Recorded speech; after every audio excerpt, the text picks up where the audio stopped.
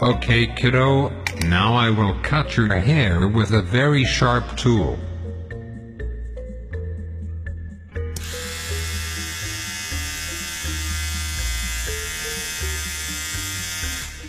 Oh ha ha whoops. Don't move. What did you do? Am I bleeding? No, everything is according to procedure. Don't worry.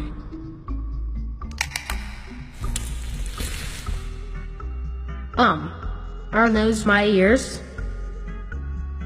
Guess what, dummy? You just got pranked. Ha ha ha ha.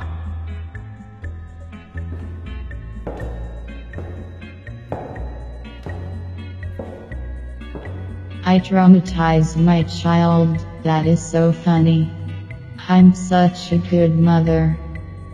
Ha ha ha ha ha ha ha ha.